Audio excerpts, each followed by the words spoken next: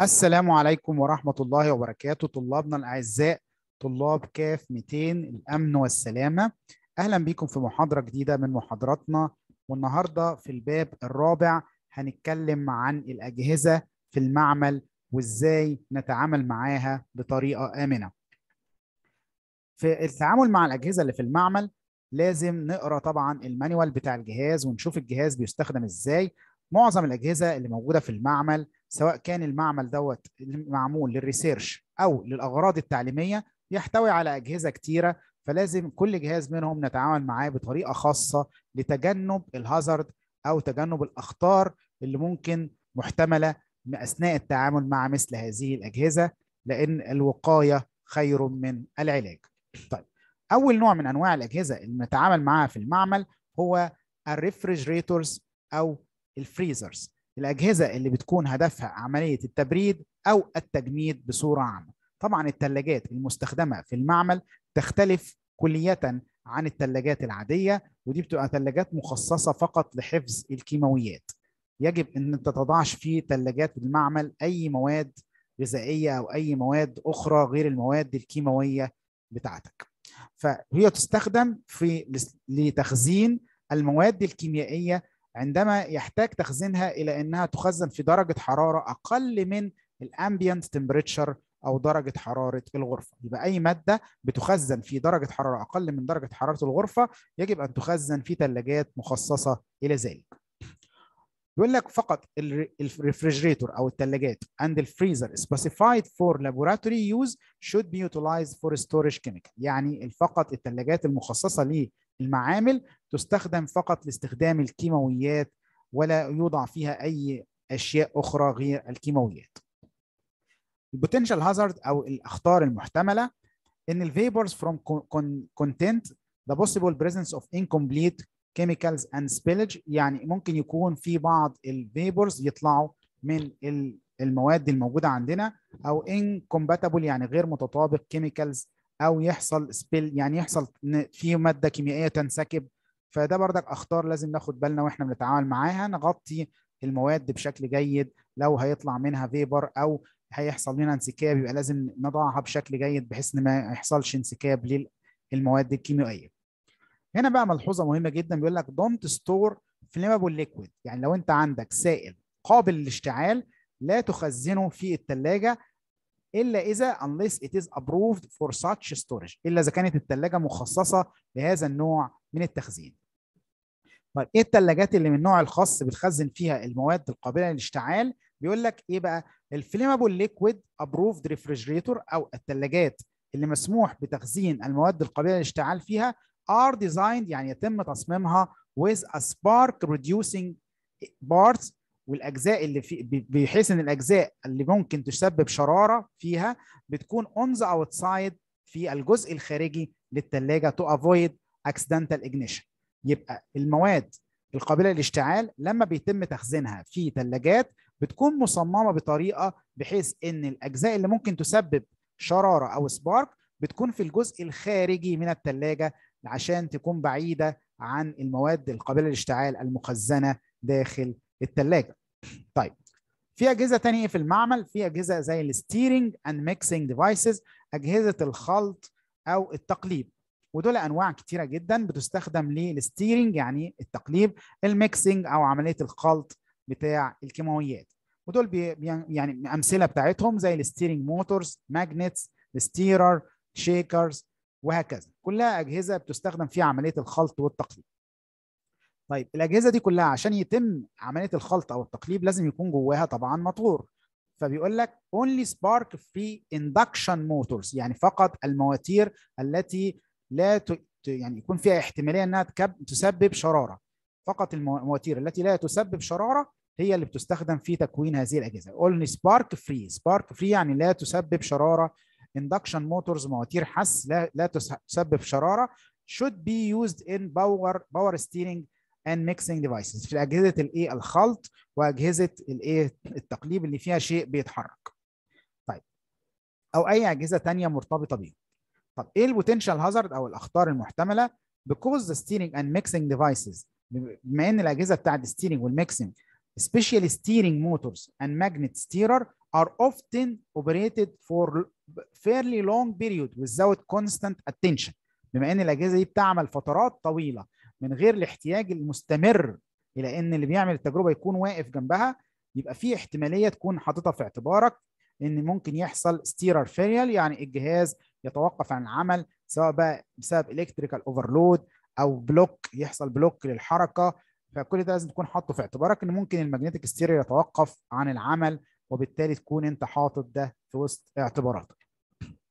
طيب بالنسبة بقى للأجهزة اللي بعد كده ال heating devices أو أجهزة التسخين ومن أشهرها اللي هو إيه يا جماعة ال oven أو الفرن. ده بيستخدم عادة used to remove water or other solvent from chemical samples and to dry laboratory glassware يعني برضك بيستخدم لتنشيف الأجهزة المعملية الزجاجية أو لو أنت عندك مادة بتنشفها بتعايز تشيل منها ال solvent عايز تشيل منها مثلا بقايا ال water فبتحطها جوه ال oven وبتبتدي تسخنها. طيب ال oven إيه بقى ال potential hazard أو الخطر المحتمله منه؟ oven should not be used to dry any chemical sample that might pose a hazard because of acute or chronic toxicity unless special precaution have been taken to ensure continuous ventilation of the atmosphere inside the oven. لو انت حطيت ماده سامه جوه ال oven وال oven هيسخنها فشيء طبيعي انها ممكن يحصل لها إيه؟ تتبخر وبالتالي فيحصل الناس ممكن تستنشق المادة السامة فبيقول لك ما تحطش أي مادة إيه؟ أي مواد سامة جوه والفرن لأن ده هيسبب ممكن يسبب إن الناس تتعرض لأبخرة هذه المادة إلا إذا كان في يا جماعة إلا إذا كان في نظام ventilation أو في نظام بيعمل بياخد البخار اللي خارج من عملية من الفرن ويبعده عن الناس اللي في المعمل. طيب بيقول لك bimetallic strip thermometer يعني لما نيجي نقيس درجة الحرارة أو الجهاز المستخدم لقياس درجة الحرارة جوه الفرن بيكون عادة من مكون من إيه؟ من ال bimetallic strip.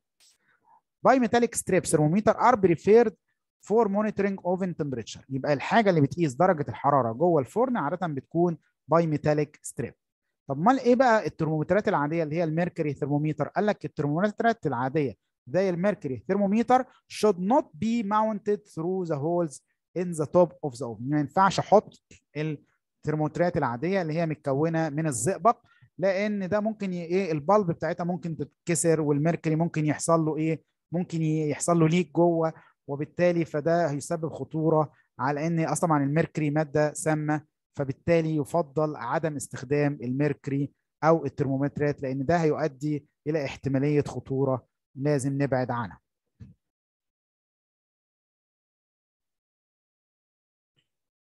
بيقول لك لا قدر الله لو انت استخدمت ترمومتر وانكسر جوه ال oven لازم نعمل إيه ها؟ لازم أول حاجة لازم نقفل الفرن بشكل مباشر على طول نتوقف من استخدامه ونسيبه مغلق تمام؟ لحد ما يبرد تماما لأن التسخين ده ممكن يخلي بخار ال mercury يبتدي يتصاعد فبالتالي ده يبقى خطر جدا. فلو لا قدر الله حصل انكسار طبعا المفروض ما نستخدمش الترمومتر اللي جواه mercury لكن لا قدر الله استخدمناه وحصل جواه انكسار فبالتالي بتسيب الفرن شغال. لا بتطفي الفرن طبعا مباشرة وتسيبه مقفول لحد ما يبرد تماما بعد كده تبتدي تتعامل مع المشكلة دي. من أجهزة التسخين اللي في المعمل بردك ال hot plate أو الأسطح الساخنة. ال hot plate ده زي ما أنت شايف كده عبارة عن سطح بتظبطه على درجة حرارة هو بيبتدي يسخن لحد درجة الحرارة دي ولما يوصل لها بيفصل. هو ده بيستخدم في عملية التسخين ممكن يوصل ل 100 أو درجة حرارة أكتر. طبعا لو أنت مش عايز توصل لأكتر من 100 بيفضل إنك تستخدم الإيه؟ ال steam bath أو الحمام المائي لأن طبعا كده بيبقى في limit إن المية درجة الحرارة عمرها ما هتزيد عن مية عن 100 بتاعت المية. فبالتالي ده بيبقى safer لو أنت مش عايز تزيد عن درجة حرارة 100 طب امال إيه الخطورة من استخدامه؟ طبعا laboratory hot plate should avoid electrical spark لأن طبعا الشرارات الكهربائية هتبقى خطر جدا مع الحرارة. store volatile flammable material near to a hot plate يعني ما تخزنش مواد قابلة للاشتعال جنب جهاز ال hot plate limit use of older hot plate for flammable materials. لو انت عندك hot plate قديم يبقى تحاول تستخدمه يعني أقل لو انت بتتعامل مع مواد قابلة للاشتعال. آه طيب ليه يا جماعة كده؟ لأن مع الوقت ممكن إيه يحصل corrosion زي ما أنت شايف كده check for corrosion thermostat. uh, corroded by metallic thermostat can be repaired. لو عندك في مشكلة في في في الثيرموستات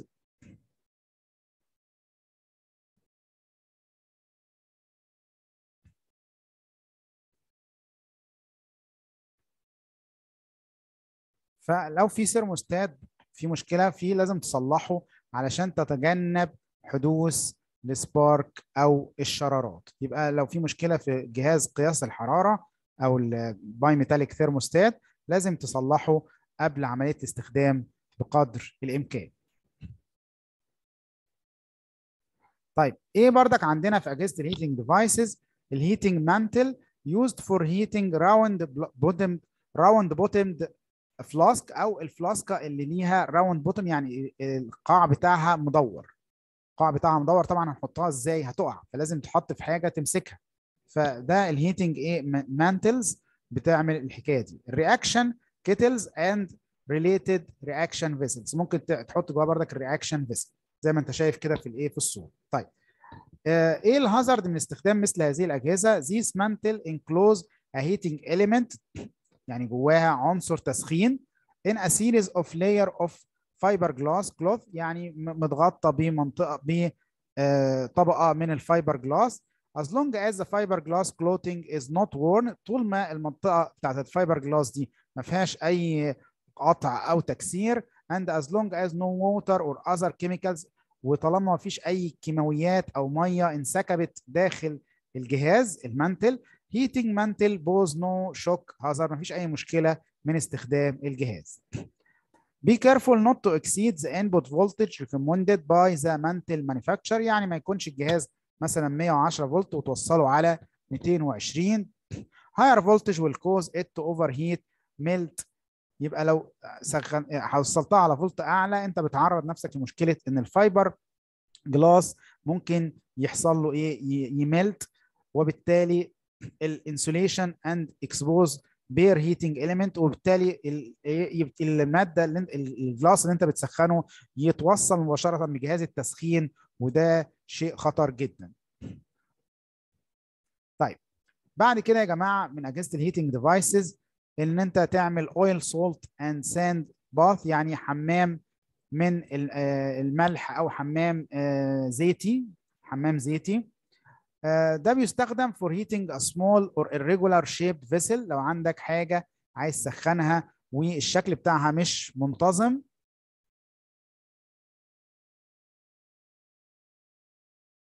فهي لو شكلها مش منتظم وانت عايز التسخين يوصل لها بردك بشكل متزن أو بشكل منتظم فبيفضل إنك تغمسها في حمام زيتي بحيث إن التسخين يوصل للشيء بشكل منتظم. حتى لو كان الشكل بتاع الجسم نفسه غير منتظم. طيب. Uh, when a stable heat source that can be maintained at constant temperature is desired طبعا ده الزيت ده بيخلينا نقدر نعمل عمليه تسخين بدرجه حراره منتظمه بشكل جيد. طيب إيه البريكوشن أو التحذيرات اللي لازم ناخد بالنا منها؟ Take care with a hot oil bath not to generate smoke or have the oil burst into flame from overheating. لازم تاخد بالك إنك ما توصلش الزيت لدرجة حرارة تسخين عالية جدا لدرجه إنه يبتدي يعمل إيه؟ يبتدي يعمل أبخرة أو يبتدي يعني يبتدي عملية اشتعال أو احتراق نفسه. Always monitor oil bath by using a thermometer or other thermal sensing. يعني تحط جواه زي ما أنت شايف كده حاجة بتقيس درجة الحرارة سواء كانت ترمومتر أو أي جهاز آخر لقياس درجة الحرارة عشان تتأكد من إيه بقى؟ بتتاكد ان don't exceed the flash point of the oil being used تتاكد ان الزيت ما وصلش لدرجه حراره ممكن تخليه يبقى قابل للاشتعال fit oil bath left unattended with thermal sensing devices that will turn off the electrical power if the bath overheated يعني لو انت هتسيب الجهاز ده لفترات طويله بدون اي شخص ياخد باله منه ان اتندد يعني مفيش حد ياخد باله منه يبقى لازم الجهاز ده يكون متوصل بدوائر كهربائية تربط ما بين قياس درجة الحرارة وتشغيل السخان بحيث إن أول ما درجة الحرارة تزيد عن حد معين يفصل الجهاز بحيث إنه يبرد تاني وبعدين لما يوصل لدرجة حرارة قليلة يبتدي يشتغل الجهاز تلقائي فيفضل يحافظ على الجهاز إنه يفضل يحافظ على درجة الحرارة تلقائي يفصل لما توصل تزيد عن درجة معينة وبعدين يشتغل تاني لما تقل عن درجه معينه mix oil bath will to ensure that there are no hot spots around the element يعني تاكد ان عمليه الخلط معموله بشكل متجانس مفيش مناطق معينه بيحصل فيها تسخين اعلى من مناطق أخرى contained heated oil in the vessel that can withstand accidental strike by a hard object يعني يفضل طبعا إن الوعاء اللي يكون فيه الزيت يكون وعاء سميك شوية يقدر يتحمل بعض الخبطات البسيطة اللي ممكن تحصل بشكل تلقائي بحيث إن هو يتحمل هذه الصدمات ما ينسكبش الزيت منه باي خبطة بسيطة كده ينكسر على طول. طيب إيه من أجهزة التسخين اللي عندنا كمان؟ ال hot air bath and tube furnace. tube furnace are often used for high temperature reaction under pressure. يعني لو عايز أعمل تفاعل عن درجة حرارة عالية وضغط عالي فبستخدم الايه ال furnace إيه ال general precaution اللي عندنا أو التحذيرات العامة؟ ensure that the heating element is completely enclosed. يعني تأكد إن أجهزة الجزء بتاع التسخين يعني إيه موجود بشكل جيد. معبأ يعني موجود بشكل جيد مغطى بشكل جيد مغلف بشكل جيد. For air buses constructed of glass warp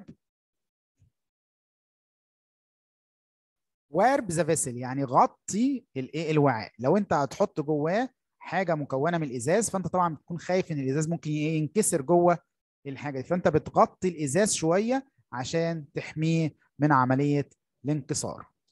sand bath أو ال ال اللي هو الموجود فيه اللي هي الحمام الرملي are generally preferred to air bath يعني بنفضله عن ال air bath طبعا لأنه إيه هيبقى آه يعني التحكم فيه اسهل for tube furnace carefully select glassware and metal tubes and joint to ensure that they are able to withstand the pressure إحنا قلنا إن ال furnace ممكن نعمل فيه حرارة وضغط. فلازم نتأكد إن الأجهزة اللي داخلة جواه سواء glassware أو metals أو whatever بتتحمل درجة الحرارة والضغط الموجود جوه الجهاز. Follow safe practice outline for both electrical safety and pressure and vacuum system. طبعا تتأكد من السلامة بتاع كل الحاجات الملحقات بتاعت الجهاز سواء كانت بقى كهربية أو ضغط أو أجهزة فاكيوم أو أجهزة شفط عشان طبعا بتعمل الغاز اللي بيمرر فبيكون في أجهزة كتير بتتاكد من إن كلها بتعمل بشكل آمن. بعد كده يا جماعة الهيت جان ال heat gun دوت عادة بيستخدم حتى في الراجل اللي بيصلح الموبايلات بيستخدم ال heat gun عشان يفصل مثلا الشاشة بتاعت الموبايل. ده بي use used to dry glassware يعني وإحنا بنستخدمه في المعامل عشان ننشف بيه ال glassware أو الأجهزة المعملية. Or to heat the upper part of distillation apparatus يعني لو عندك جهاز تقطير وعايز تسخن جزء منه مثلا الجزء العلوي فبنستخدم الجهاز ده في التسخين during the distillation of high boiling material للمواد اللي بيكون فيها درجة غليان عالية قوي. فأنت عايز تأكد إن جهاز ال distillation مثلا يفضل سخن في جزء معين بتسخنه بالجهاز دوت اللي هو عبارة عن gun بيطلع هواء ساخن.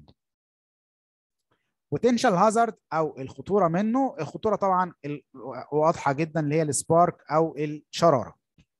general precaution any hand held heating devices أي جهاز للتسخين بيستخدم في اليد من هذا النوع of this type will be used in a laboratory should have a ground fault circuit interrupter. لازم يكون جواه GFCI اللي هي ground fault circuit interrupter ده حاجة زي إيه يا جماعة؟ زي الفيوز كده بيفصل الكهرباء تمام؟ علشان يحمينا من ال electrical shock أو من الصدمات الكهربائية. أي جهاز تسخين بيستخدمه كهرباء واط عالي بيبقى جواه فيوز علشان يفصل لو حصل أي مشكلة بسرعة كبيرة. never use a heat gun near flammable طبعا منطقي جدا مش هتحط النار جنب الشرار فمش هتجيب جهاز التسخين جنب مادة قابلة للاشتعال including open containers of flammable liquids. طبعا بالذات لو انت عندك وعاء بتاع المادة ال liquid دي مفتوحة ال flammable فممكن تتطاير منها المادة وهتحط جنبها ال heat gun ده شيء خطر جدا. flammable vapors or hoods طبعا أي أجهزة فيها vapors زي مثلا ال fume hoods أو اللي هو بيمص الأبخرة اللي طالعة من التجربة. ده كله شيء مهم جدا إن أنا ما أحطش جنبها جهاز heat gun أو جهاز بيسخن جنب أبخرة قابلة للاشتعال. من أجهزة التسخين المعروفة حتى بره المعمل المايكروويف أو أفران المايكروويف طب يا ترى إيه الخطورة من استخدامها؟ طبعا أول خطر ال spark يعني إنه ممكن يعمل إيه يا جماعة؟ ممكن يعمل شرارة وبالتالي ممكن تؤدي إلى احتراق المواد القابلة للاشتعال. طيب الخطر الثاني ال metals. المفروض إن إحنا ما نحطش جوه الميكروويف أي مواد معدنية. ما ينفعش نحط جوه الميكروويف مواد معدنية لأن ده ممكن يسبب احتراق. تمام؟ طيب الحاجة اللي بعد كده sealed containers يعني لو أنت عندك حاجة مقفولة أو مغلقة وحطيتها جوه الميكروويف ممكن يحصل إيه؟ ممكن التسخين يخلي الضغط جواها يزيد. وبالتالي ممكن تنفجر أو تنكسر جوه الميكروويف يبقى الأجهزة الحاجات المقفولة حتى لو مقفولة بشكل جيد ده خطر إنك تحطها جوه الميكروويف لأن عملية التسخين بتزود الضغط جواها فممكن يحصل جواها انفجار أو انكسار جوه الميكروويف كجهاز نفسه. إيه بقى الحاجات اللي لازم ناخد بالنا منها وإحنا بنشتغل مع الميكروويف أول حاجة طبعا منطقية جدا never operate microwave oven with door open يعني مش ممكن تشغل الميكروويف ابدا وهو دوره الباب بتاعه مفتوح لأن ده بيعرضك لإنك كمان أنت تاخد جزء من أشعة الميكروويف تتعرض ليها أنت كشخص. Don't place wire and other object between the sealing surface and the door of the oven front face the sealing surface must be kept absolutely clean. يعني الميكروويف بيكون متغطي بحاجة كده قدامنا زي شفافة. ما ينفعش تحط عليها حاجة سواء من بره أو من جوه. لازم تسيبها نظيفة طول الوقت. دي مش محطوطة كده عشان تعلق عليها حاجة. Never use a microwave oven for both. Laboratory use and food preparation. بصورة عامة أجهزة المعمل. الأكل أصلا المفروض ما يدخلش جوه المعمل. ما ينفعش نحط الأكل جوه الثلاجات بتاعت المعمل. ما ينفعش نحط الأكل جوه الميكروويف بتاع المعمل. ما ينفعش نستخدم الميكروويف بتاع المعمل لتسخين بتاع الأجهزة الكيماويات. ما ينفعش تخلط الاثنين مع بعض. electrically ground the microwave يعني حط وصل الميكروويف بالأرضي. تمام؟ بس ده بردك ما يمنعش don't use metal containers ما تستخدمش أي حاجة معمولة من معدن سواء وعاء معدن. metal containing object أي حاجة تحتوي على معدن حتى لو كانت stirring bars يعني حاجة للتقليب in the microwave they can cause arcing يعني ممكن يسببوا توليد شرارة داخل الميكروويف. don't heat sealed containers زي ما قلنا قبل كده ما, تستخ... ما تسخنش حاجة جوه الميكروويف إيه تكون مغلقة أو مقفولة لأن ممكن الضغط يسبب إنها تنفجر جوه الميكروويف.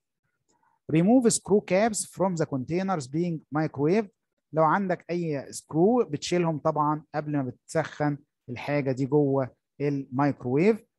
أي معادن طبعا لازم تشيلها أثناء عمل استخدام مع الميكروويف. If the sterility يعني لو التعقيم of the content content must be preserved يعني أنت عايز حاجة مثلا تبقى يعني ما عليهاش أي تلوث use cotton or foam plugs otherwise plug the container with skim wipes to reduce splash content potential. يبقى لو انت عندك في مشكلة إن الحاجة دي ممكن تنسكب أو حاجة فعايز تحطها في حاجة تانية عشان تحافظ عليها فلازم تراعي إيه المواد اللي ممكن تحطها جوه الميكروويف. في بعض المواد مسموح لها بالدخول جوه الميكروويف أنواع معينة من ال fibers. بتقدر تتحمل الحرارة وبالتالي تقدر تستخدمها جوه الميكروويف. زي انواع معينة من القطن والسيلك بيكونوا بيتحملوا الحرارة بشكل جيد. السيلك اللي هو بيكون متحمل لدرجة الحرارة. فاحنا لازم ناخد بالنا من المواد اللي بنضعها داخل الميكروويف وتحملها لدرجة الحرارة. من أجهزة التسخين الأجهزة المعتمدة على ال ultrasonic زي ال ultrasonicator ودي ال potential بتاعها الخطورة المحتملة بتاعتها بيقول لك ال exposure to associated high volume of audible sound can produce a variety of effects. يعني برغم إنها بتطلع موجات فوق الصوتية إلا إن ممكن يكون في جزء منها fraction منها جزء في في الميديا في المجال المسموع ممكن يؤدي إلى أعراض كتيرة زي ال fatigue أو التعب ال headache الصداع ال nausea الإغماء وال tinnitus. nausea يعني الإغماء. tinnitus يعني سماع أصوات من الداخل يعني تسمع أصوات غريبة ما مش موجودة في الحياة أصوات جاية من من داخلك أنت شخصيا. tents طيب التعرض لل ultrasonic أو vibrating solid such as acoustic horn يعني الأجهزة اللي هي زي ال wave guide اللي هو ال acoustic horn دوت ده ممكن يسبب تسخين سريع rapid frictional heating و potential severe burn يعني حروق خطيرة جدا. طيب إيه كمان الاخترازات العامة في التعامل مع الجهاز ال ultrasonicator؟ بيقول لك ultrasonicator must be enclosed in 2 سم thick wood يعني يكون موجود فيه حاجة سمكها مثلا 2 سم من الخشب or أي مادة ثانية or in a box lined with acoustic absorbing foam يعني في صندوق مغطى بماده بتمص هذه الصوتيات or tiles on to substantially reduced acoustic emission عشان تقلل انبعاث الموجات الصوتيه الخارجه من الجهاز most of which are inaudible يعني طبعا معظم الموجات دي غير مسموعه طيب تاني حاجة طبعا direct contact of the body with liquid أو solid ال contact بتاع الجسم مع مواد liquid أو solid subjected to a high intensity of ultrasonic يعني مواد صلبة أو سائلة تعرضت إلى الأشعة ال ultrasonic ده ممكن يكون خطر لأنه بي promote إن يحصل تفاعلات كيماوية أكثر خطورة مع طبعا مع التسخين ومع الحرارة التفاعلات بتكون أسرع. من الأجهزة المعملية بردك ال centrifuge أو أجهزة الطرد المركزي. ودي بتحط فيها العينة طبعا بتلف بسرعة بالداخل. بيكون الهدف من كده هو ال separation أو الفصل بتاع العينة. طيب إيه المشكلة في استخدام أجهزة السنترفيوج أو أجهزة الطرد المركزي اللي بتستخدم في عملية الفصل؟ لمواد عادة بتكون في شكل محلول؟ أول حاجة for flammable and hazardous material the centrifuge should be under negative pressure to a suitable exhaust system. يعني لو انت بتتعامل مع مواد قابلة للاشتعال أو فيها خطورة فيفضل إنك تكون شغال على ال negative pressure يعني ضغط أقل من الضغط الجوي مع نظام يعني يعني نظام يعني يبتدي يسمح بمص هذه الغازات أو هذه المواد بعيدا عن الهواء اللي أنت فيه. يعني يكون نظام معزول بضغط معزول عن الجهاز يكون البخار بتاعه في ventilation system أو في نظام بياخد فيه الغاز بعيد عن الهواء بتاعه. طيب general precaution أو يعني الاحترازات العادية centrifuge should be properly installed and must be operated only by trained person. وده شيء منطقي جدا إن هو الجهاز لازم يستخدم بطريقة سليمة يوضع في مكان مناسب ويستخدم من قبل الشخص المؤهل باستخدام هذا الجهاز.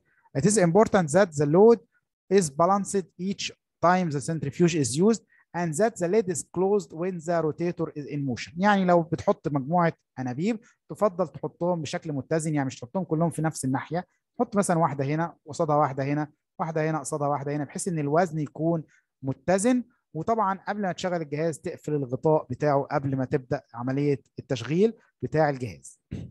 The disconnected switch must be working properly to shut off the equipment when the top is opened. يعني يكون في دايرة ما أو في حاجة أول ما يفتح الغطاء توقف الإيه؟ العملية بتاعة الدوران. وحتى بلاحظ في بعض الغسالات اللي هي فيها عمليات عصر تفتح الغسالة تبص تلاقي المحرك فصل على طول وابتدت إيه؟ الدوران يقف. فلازم يكون في بردك في الجهاز كأمان. أول ما بتفتح لو فتحت بالخطأ يعني يوقف عملية الإيه؟ السنترفيوج أو الدوران. The manufacturer instruction for safe operated speed must be followed. يعني لازم تتبع عمليات الأمان. تشوف مصنع الجهاز قايل إن السرعة مثلا ما تزيدش عن كذا العدد ما يزيدش عن كذا. لازم تتبع التعليمات بتاعه الأمان لاستخدام مثل استخدام هذه الأجهزة أو أي أجهزة بصورة عامة. Rotary evaporator used for separation of organic component depending on their boiling point. يعني الجهاز دوت زي ما انت شايف كده بيستخدم في فصل المواد العضوية باعتمادا على الفروق في درجات الغليان. Through the evaporation أثناء عملية التبخير at one side of the and distillation at the other side. يعمل عملية تبخير من ناحية وعملية distillation أو تقطير من الناحيه الثانية فده بيؤدي إلى فصل مجموعة من المواد العضوية. General precaution أو التحذيرات العامه glass component of the rotary, uh, evaporator should be made of pyrex or similar glass لازم يكون متصنع الازاز بتاعه من ماده بتتحمل الحراره زي البايركس ده نوع معين من الزجاج بيتحمل درجه الحراره glass vessel should be الوعاء الزجاجي should be completely enclosed in a shield to guard against flying glasses should be component implode يبقى ال glass vessel لازم يكون بشكل كامل محطوط في حاجة يعني تقيلة أو shield واقي ليحمي إن ممكن يحصل ما من أجزاء تتطاير من ال glass أو ال component بتاعت الجهاز تتطاير. لازم يكون في حاجة بتحمي من هذا الاحتمالية.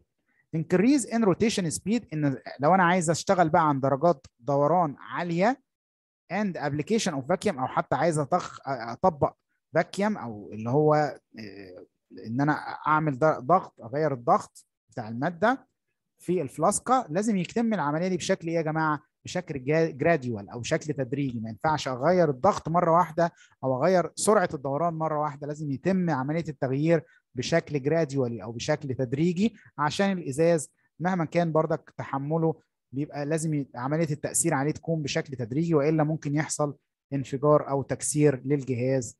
بشكل مباشر.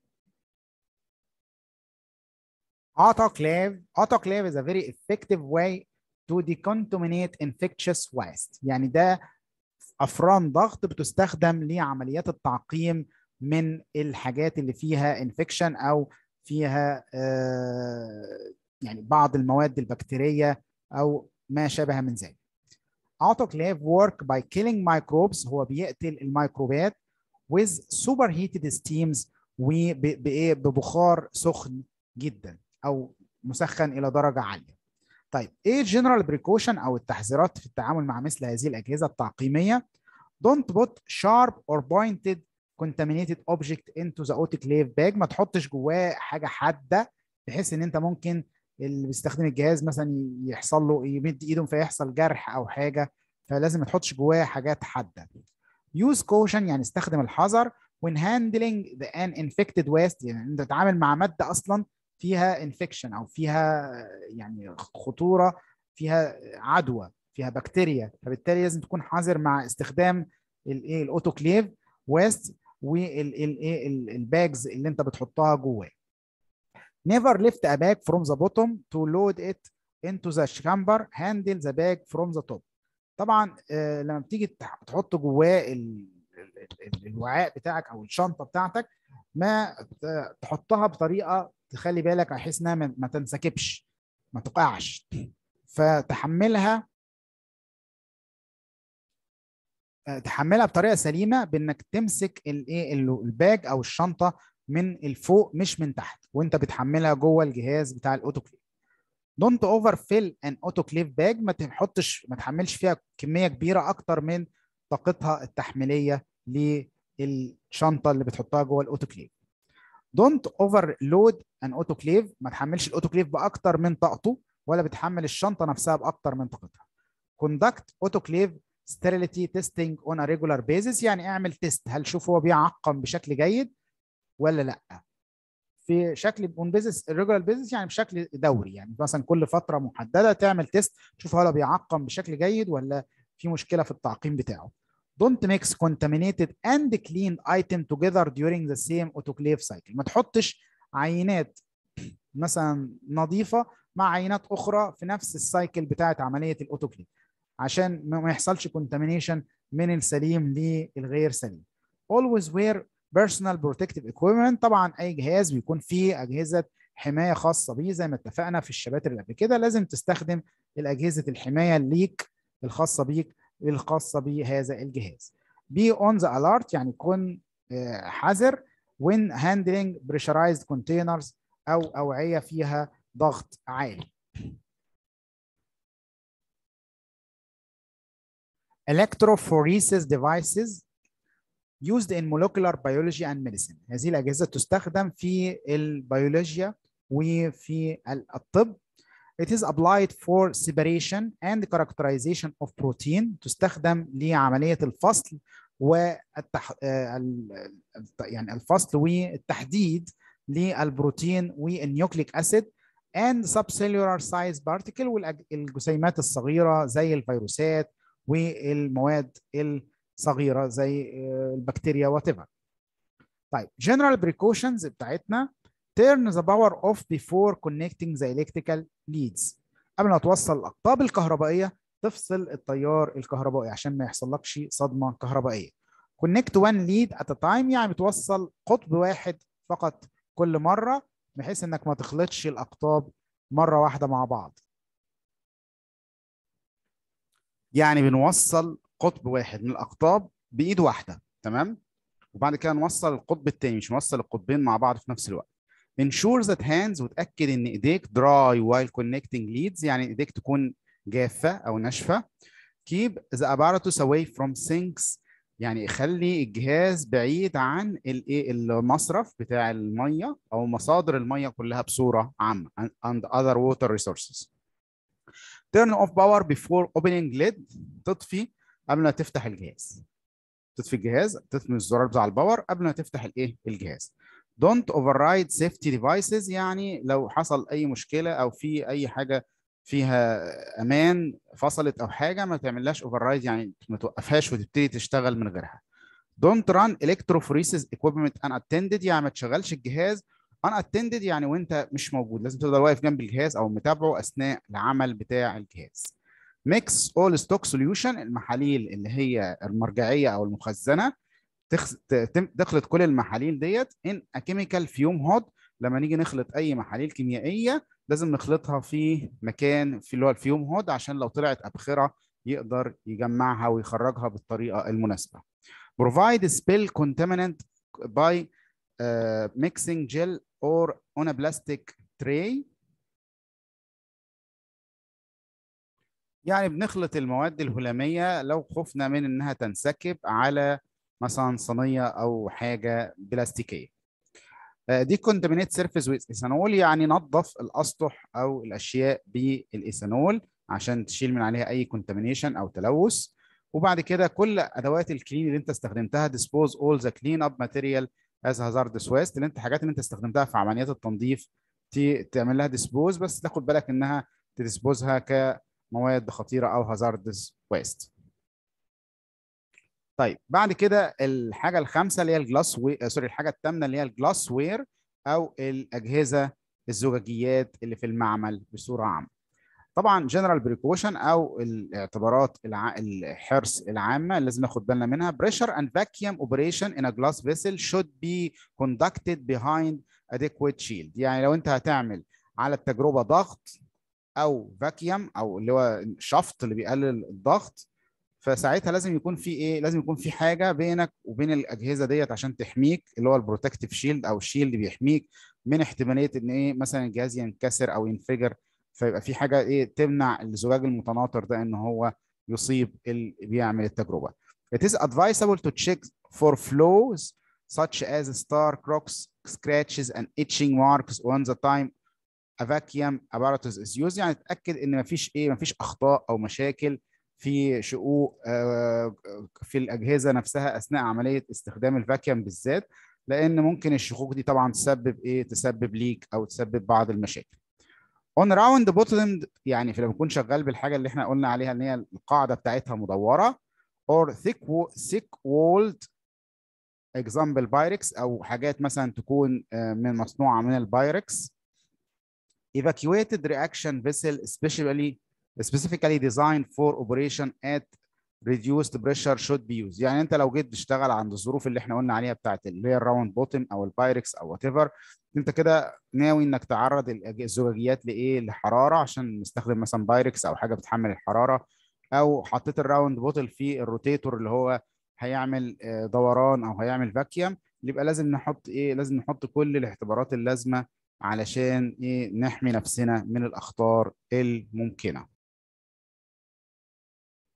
إزاي يعني لازم نستخدم إيه thick wall يعني الحاجة اللي جدرانها سميكة طبعا ال round bottom عادة بتكون جدرانها سميكة وبالتالي فهي بتتحمل إيه العمل تحت هذه الظروف يبقى إحنا ما نجيش نجيب زجاجيات رفيعة أو غير سميكة ونستخدمها في. في الضغط أو في ال vacuum وبالتالي ممكن تنكسر بسهولة. Repaired glassware is subjected to thermal shock and should be avoided يعني لو حصل انكسار مثلا في جهاز condenser أو ever وإنت رحت صلحته فالجهاز المتصلح ده بيبقى عرضة لإنه يتكسر تاني لأن النقطة بتاعه اللحام أو النقطة بتاعه التسطيح بتكون ضعيفة فال repaired glassware is subjected to thermal shock يعني ممكن تتعرض ل thermal shock أو تتكسر بسهولة. ثين وولد الانرمال النماير. أو راوند بوتم فلاسك الحاجات اللي هي رفيعة أو اللي حجمها أكبر من واحد لتر ما يفضلش خالص إن إحنا إيه نستخدمها في حاجات يكون فيها فاكيويشن أو فيها شفط فيها شفط فيها ضغط. وبالتالي لأن الجدران بتاعتها مع الحجم الكبير ده الضغط بردك هيكون أكبر. فبالتالي ال thin wall أو الحاجات الرفيعة أو ال round bottom flask ال Erlenmeyer اللي هتكون أكبر من واحد لتر should never be evacuated. Should never be evacuated. أجهزة الشفط أو اللي هي زي زي الشفط اللي هو بيشفط المكنسة الكهربائية. أجهزة الشفط بتستخدم في المعامل بإيه بقى؟ في إنها تزيل تو ريموف اير اند اذر فيبور أو أي أبخرة ثانية موجودة في الأوعية اللي إحنا بنستخدمها.